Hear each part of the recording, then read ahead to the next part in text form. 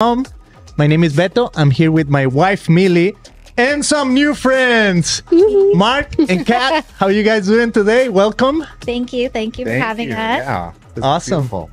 Okay, so today's today's topic is I'm fat. I need help. I don't know what It is. I don't know if to laugh or cry about it. uh, a little bit of everything, but it's true. That's great. So it's called Elev8 Performance. Yes. Yes. right and what is like being a faith base is that is that new, a newer thing is that common is there other you know gyms that are like open about that or how what have you experienced in that sense Well, this came as a vision from God to my wife. So if you want to, Yeah. So um, to answer your question, there are, or we're aware of other gyms in the space that do um, are outwardly uh, faith based. What that means, you know, I think every you know business every you know owner is probably going to mean something a little bit different um, for myself and my husband and for our business um, when we personally started um, our own I guess getting into our own faith and our own walk a lot deeper. We were attending Bible college, really trying to understand the word a lot more. Um, God spoke out to me and said, You know, you can't transform your personal life and leave your business on the side. And I said, Okay, what does that look like? And so he was very clear um, in in the vision that he gave me that you know people come to a gym broken looking for healing um, a lot of people go through breakups right they're devastated they're empty they're trying to seek for more and we are fully aware that you know we can help from a physical um, perspective, but the emptiness that you're seeking isn't going to come from weights. It's not going to come from weight loss, right? You might physically feel better, but that empty void is not going to go away. Uh, and so we wanted to, um, you know, with the vision that God gave us, really make sure that you know, we were open about being faith based, but we want to still make sure that everyone is welcome, regardless of where they're at in their life. And mm-hmm. so we, you know, maybe they're not able to step foot in a gym. I mean, I'm sorry, in a church just yet, right? They might not be in a space in their life where they're comfortable stepping into a church. So being able to be prayed over at a gym or having a conversation about Jesus or asking questions. And uh, we have a confidential prayer request box. So just things like that where, you know, they can ask questions and we can be a bridge to somebody finding, you know, Jesus, being saved, going to church. And so it's just, it's been amazing to, to kind of walk that out. And so for us, it's never been about religion per se, but allowing people to experience like the love of Jesus, the leadership of Jesus. Um, and so that was kind of the, I guess, determining factor for us is, you know, um, not necessarily, you know, making it about the religion, but making it about, you know, the biblical foundations and who we are and what our beliefs are. Um, and going back to um, the woman that you're talking about, I think that was a concern for us at first as well. But the thing that we didn't realize is there's lots of Christians out there, right? And so people started coming to us. Christians were coming to us because they were looking for a Christian community. And so we were thinking the reverse, right? Like people aren't going to come because, you know, we're openly saying that we're faith based, but it kind of did the opposite, to be honest with you. Like now people are coming because we are faith based and, mm-hmm. and we're like wow god like we didn't even really think we were over here being like oh my gosh like this is going to hurt our business and it did the exact opposite So I did a research. I one day I get out of my house and I was looking for a gym. Like God sent me somewhere where I can fulfill my needs. And uh, we have a few gyms around the house. We always see people working out. Like it needs to be some something here, and we walk and I walk through it. But I was like, no. And then I went to 24 Fitness, and I'm lost there. I don't know what to do. I just love the sauna. I take a shower there, but the music is horrible. Like f this, f that, and you know, like I no, I hate the music. I just want to be in the sauna and relax, and then I try to work out there, and I just don't like the music or the people too. Right now, kind of, I feel like people is eating you, like like I have clothing, but they take me everything. you don't. oh, oh, was- last time I went was so uncomfortable, and um, yeah, I That's felt bad. I felt lost. And that's, that's At a the bad gym. experience, yeah, right? and yeah, Unfortunately, I think it's an experience that happens often in our space because um, there is a lot of vanity. And I know that you can kind of speak um, to this as well, but you know there is a lot of um and even we'll we'll go back to like the way that elev8 started right? We were a very traditional bodybuilding gym. You know we used influencer marketing to grow our brand in the beginning. But a statement i would get from friends and family or you know just individuals is i'm not shredded enough to go to your gym and i'm like wait what do you mean? It's a gym. Like that's where you go to like you know build that. yeah. And they were like no way. Like i see this influencer there and this and i was like oh got it. So i you know we wanted to create a welcoming space but it was the exact opposite right? People felt intimidated or um, when you have you know big guys and they might be the most loving guys ever right? Standing in front of mirrors flexing without shirts off you know their shirts off and things like that.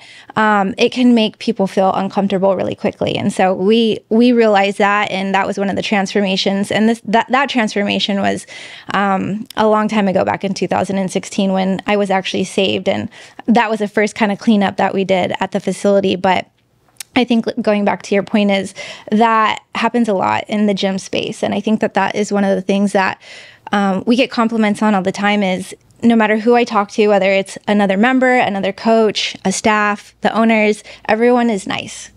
Being nice goes a long way, you know. Um, and so I don't know what your take is on that, but Um, I mean, I don't know where to start, but the gym space is toxic.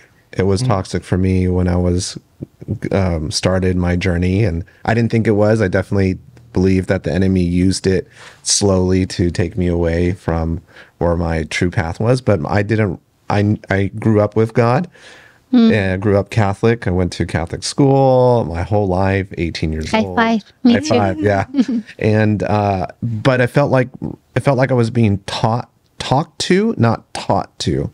Just kind of you're doing this wrong, you're doing that wrong, versus teaching me what the Bible says about doing it wrong and how to change those things. So as soon as I turned 18, I stopped going to church. Later on, I moved out of the house, and that's kind of when the world happened. Literally, I was just in the world doing things I shouldn't be doing. Did you grow up here in the U.S.? Yeah, I grew up in Orange County, and uh, even though even though I s- turned my back to God, God never turned His back away from me. You know, He's always been there in moments where I probably should have been in jail or I probably should have died a couple times. God has always been there, but I believe in the beginning, my journey with fitness was healthy. Mm-hmm. Then it became vanity. It became trying to date as many as much as I could, be the cool guy, be that guy without the shirt on, flexing, looking at fitness through a different lens. And I believe slowly as I got uh, older in my age and more away from God, the enemy used that to try and put me down really try and put me down. And so i had my own health journey even though i was a coach and, and at this time i haven't met my wife yet i was i wasn't paying attention to what i was doing. I, I stopped caring about my about myself because my investment was my body. And i was like i don't care about my body. So i stopped doing the things good for my body. But now realizing my body's a temple who am i really glorifying with my body? Mm. God. I should be glorifying god with everything that i do. And so as time transitioned and i, I met my wife and we went to start going to church together she had you know her her testimony and and then i had a my own again with the lord and it changed what we do today so a lot of people who have probably been in the gym in the past nine-ish years that wasn't our path in the beginning this is recent this is over the past Wow. two three years together but maybe with the gym less than a year yeah.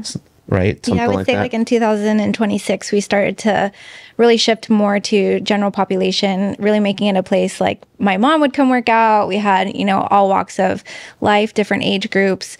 Um, and then, yeah, it wasn't until 2023 that we openly started talking about being a faith based business. Yeah. So you said you had said uh, you started the business without like faith base, but then you said uh, you got saved at some point. How was that?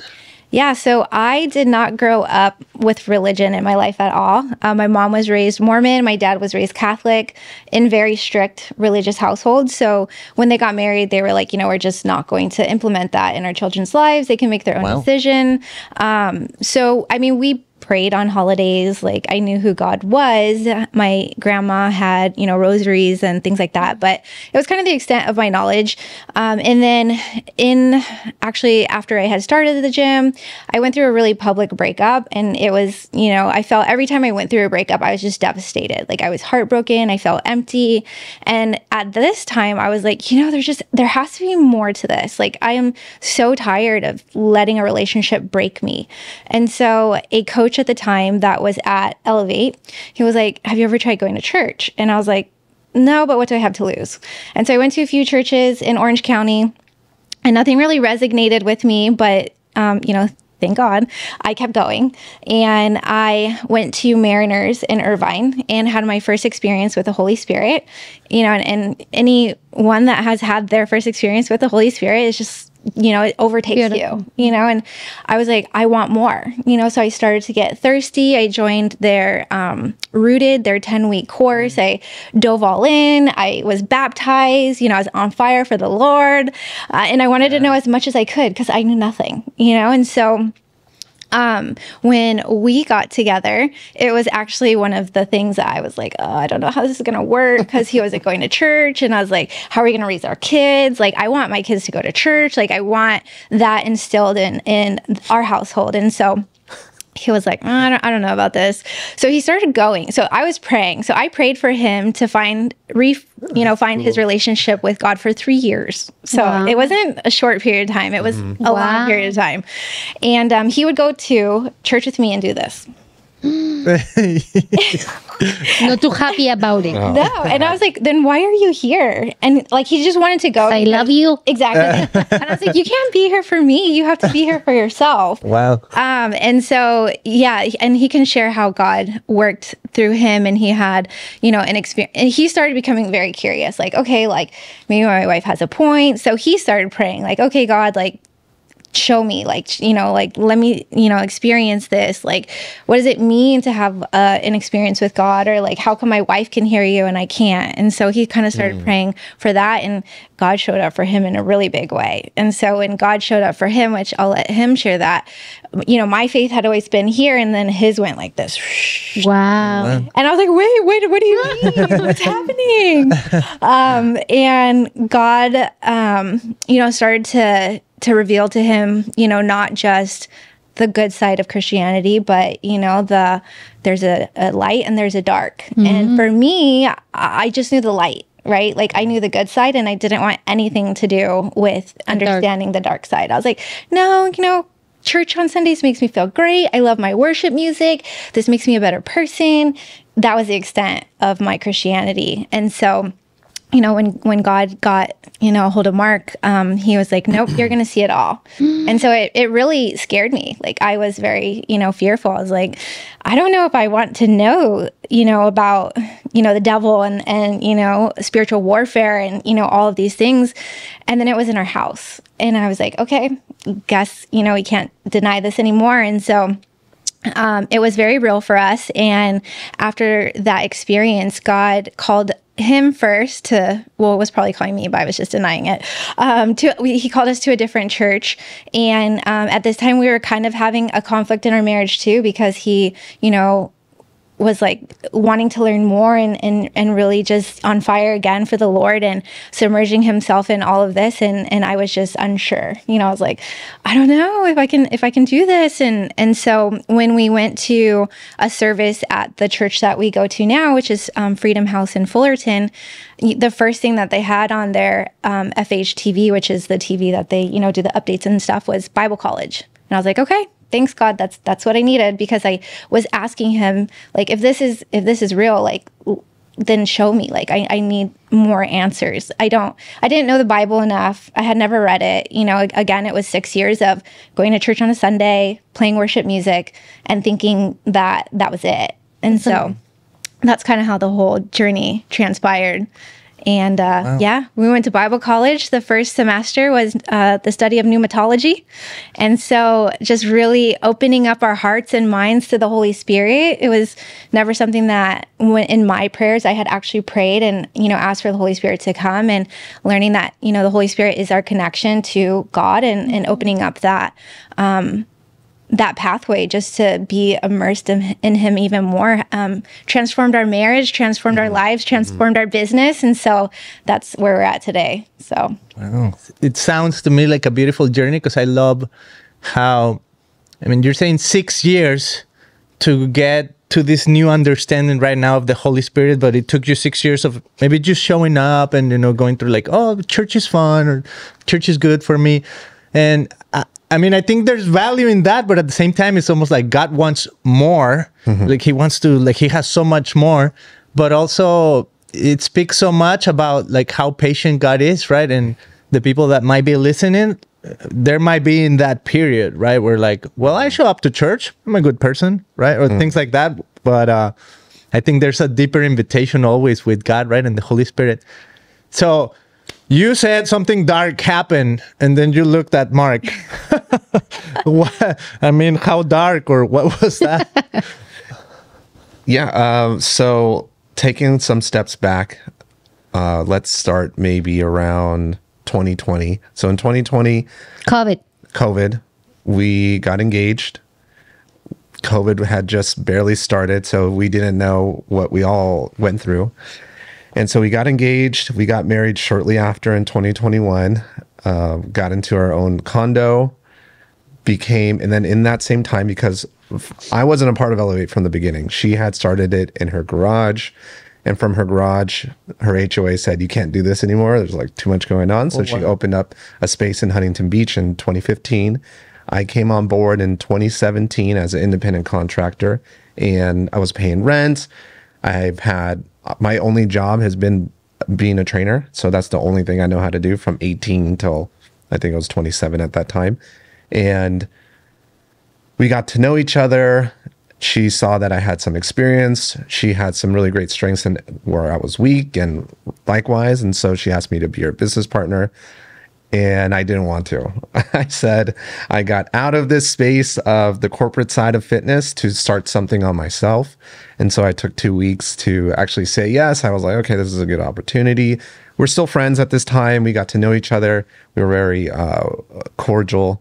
Um, and with time being in all these like meetings and getting to know each other, I started to have feelings for her. She said no. Uh, and then she started to have feelings for me. And I was like, but you said no. Oh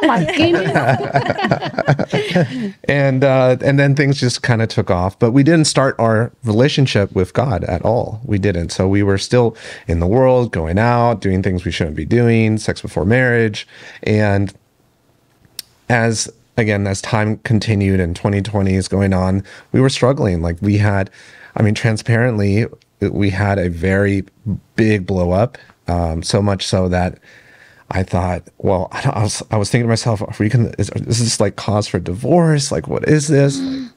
And I remember going to the beach, and the beach is my solitude place with the Lord. And I was in Tower 44 in Newport, and I just prayed, and I heard, "She still loves you, and continue to do what you need to be doing for me."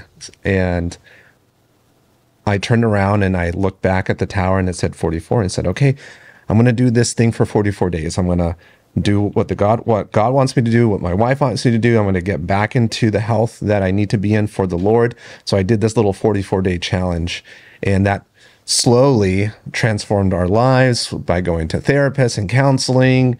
And this is, this is still 2020. no because we're already married So this is 2021. So during this time and trying to seek out the Lord, we go to Colorado. And in Colorado, we spent our time in Glenwood Hot Springs. It was a really beautiful place. You go past Vail, and we're in the hotel. Uh, we go to sleep. I'm in this dream now. And in this dream, I close my eyes because I try and envision it every time. But I don't know if you remember the movie Honey, I Shrunk the Kids. Mm. Okay, so this is what happens in my dream. We're in the same hotel. All the furniture disappears in this dream. The walls become big. I become small, like the movie. and the walls become white, bright, like the lighting, but super bright. And then every picture that I remember of Jesus as a kid going to Catholic school, opening up mm. my religion book, and there's that pictures of Jesus, drawings, just started to go all over the wall. And I didn't know at this time what was happening because I'm still seeking out the Lord. I, I'm not really sure what this was. Now looking back, easily it's like, Mark, you had an encounter. It's like, oh, I did have an encounter. Wow. So the room fills up with the pictures of Jesus and the light felt warm and bright and good and it was joyful and happy and and then the lights went away and I started crying because I whatever that feeling was for that moment that I had, it was special. Hmm. It was something I've I kind of I can't explain what it was in that dream, except that it was the Lord saying, "Hey, I'm here." Wow. And then it was gone. I was like, "Oh, it's pitch black. I don't like this." And I cr- crying and I woke up and I was like, "I think this just happened and we have to go to Bethlehem. I want to go to Jerusalem. I want to see where Wow. we walked." And so that that moment created a rocket ship for everything I was seeking leading up to later on in that year where I had um, sleep paralysis. I don't know if anyone's experienced sleep paralysis, but Oh, yeah, yeah, yeah. you just can't wake up. Yeah. It's or can move. can't move. right? It feels it was for me it was demonic. And in this in this nightmare that I have now later in in that same year, I felt I was being held down. I was in a- kitchen. I don't know if it was our kitchen. The cabinets were opening and closing. Okay, this is this is gross. This is weird. I'm trying to call out my my authority. Get out of here. You don't you don't belong here. But I couldn't say it in my dream. I couldn't. It was stuck here. I was thinking it, but I couldn't. It didn't come out. It finally came out, and it sounded dark. My voice sounded dark and gross and demonic. It wasn't my voice. But he didn't know I heard it. Oh Yeah. wow. and I and when when he woke up, and uh, for the second time he was praying, and this is like you know in the middle of the night, and I asked him, I'm like, "Are you praying?" And he's like, "Yeah," but I was already so freaked out because I heard that voice, uh-huh. and so I didn't tell him until later that day because I was so freaked out. And this was when we were already kind of having our rift of him doing a lot of research on like spiritual Spiritual warfare. warfare and he went to like a deliverance event and he was asking me to come with him but i was like Mm-mm, no thank you Wow. i am not doing that and, Wow. yeah and so Chicken. yeah now i'm like okay let's go uh-huh, uh-huh. um but yeah so that was and then he mm-hmm. you know had told his friend and i'll let you Yeah, I didn't know what it was to Yeah. put what it meant to put your armor mm. on. You know what mm. what is what does that mean? And my friend mm. started explaining. But in this in this dream or nightmare, I I was trying to call out to Jesus and I couldn't. It was scary. It was scary. And like Kat said, she heard my voice. She heard a noise come out of my mouth that wasn't mine. Woke up the next day. She told me, she's like, I, I don't want to tell you, but this is what I heard. And so it confirmed. I called my friend Ryan. I hope he sees this video. And he said, Brother, uh, you need deliverance. I was like, What does that mean? And so he, he calls me over to his space with his wife, and we went through deliverance. And that has never happened since then.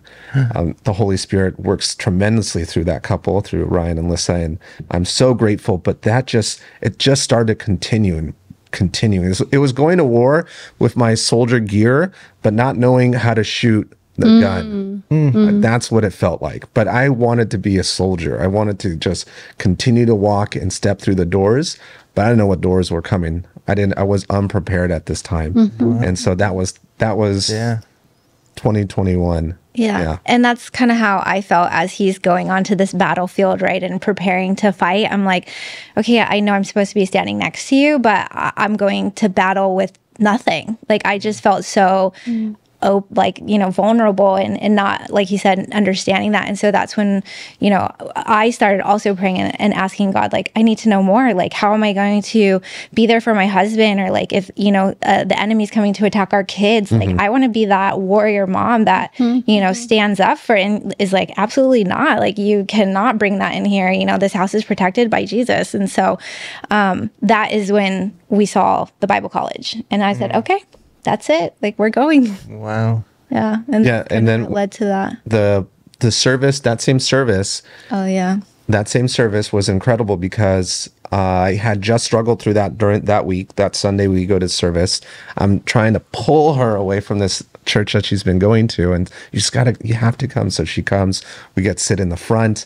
And at the end of service, pastor goes, you know, if anyone wants to give their life to Jesus, raise their hand. I, I'm already been baptized, but this felt, felt like another moment. And so I raise my hand and he calls me to the front and he says, what's your name?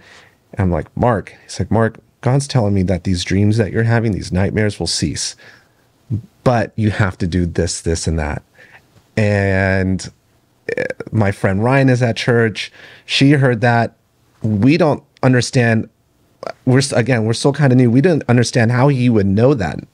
Now that's God So speaking through him, right? So that was incredible, and it was so reassuring that we were in a space that we needed to be in at this new church that we were going to at that time. Yeah, which uh, coming from a mega church, you know, in Irvine, where you feel like you know no one Mariners, really yeah. sees you, and then going to this church, which um, their Irvine campus is really small, and so when you arrive early, you get sat and you get sat at the front. and so I was like, oh my gosh, what is happening right now? Um, and then for him to get called up front, it was just it was, you know, an experience that at that moment you're kind of like what is going on but looking back it's just like god is so good you know he is so good and and he oftentimes pulls you into places and spaces hmm. that you don't want to be hmm. you know? But that's the way that he grows you and stretches you. And Yeah. now we're here. Yeah. you know we're sitting here on a podcast talking about him so Wow. you know? Which for anyone that's your friend who's struggling about whether or not she should bring faith into her business don't listen to anyone else. That's what we did in the beginning. We were kind of saying the same thing. It's just should we? People are saying we shouldn't because it's going to cause a rift between what happens in our business. Mm-hmm. Now we're in a space where it's hard to even catch up to what's happening in the business because it's moving so fast. Hmm. Wow. now that we fully surrender that to god. Yeah. even me. So when you mention like you know because we have so many denominations no we just follow the bible. We love jesus and come over you know this is who we are if we help you to find your path you're welcome here whichever you are or you believe like welcome we love you and uh, we hope the better for you yeah right? Amen. It is so beautiful, Beto, what God is doing. So it's Yeah, I think you, people have their career and they know what it is and they forget where their purpose is and it's always in God. So if you feel a little empty, your purpose, what does God want you to do? Mm-hmm. Well, it says in the Bible. You know, we just have to continue to read the word to receive a word. If we're mm-hmm. not in that Bible, we're not listening to mm. God. Yeah. So people do get confused with their their but where's my purpose? What's my purpose? Like I, I feel that I should be doing um, I have the perfect job and the and a great family and I f- my I f- don't feel fulfilled. Well, you're not you're not really being asked to be filled. Mm. Mm. Maybe you're only going to church on Sundays and that's it. We're not meant to just be a, a Sunday Christian. Wow. yeah Ah, That's good. Maybe you're not just meant to be a Sunday Christian. That's gonna be a quotable quote too. Thank you. Thank okay, so now have um, just point people to you know elev8. Maybe if people are local, how can they you know get to know you more or find out about what you guys do? Yeah, so our website is elevate, so E L E V 8 dash performance.com. Um, and our Instagram handle is at elevate, E L E V, the number 8 performance. So either of those ways, reach out and we would love to welcome anyone that's local in. Yeah. Love it. Thank you so much. Thank you. Beto, and it's not that far. We don't need to make that as an excuse. I like that. okay, I really like you guys. You know, so I, I'm convinced. You know, so uh, it's just a matter of making it happen. Yeah. Um, thank you, my friends, for listening today, maybe watching, whatever you're watching. I want to invite you to like, subscribe, share this episode with a friend. Visit us at christianpodcast.com. Uh, we have English and Spanish episodes. Now I'm kind of like marketing it as Christian Podcast Latino because we're Latinos, right? So Yeah. you'll get us, Beto and Millie, in every episode. And uh, we'll bring you stories, we'll bring you the Bible, we'll bring you fun and maybe even inspiration, right? So we'll see you guys on the next one. Amen. Bye bye. Bye.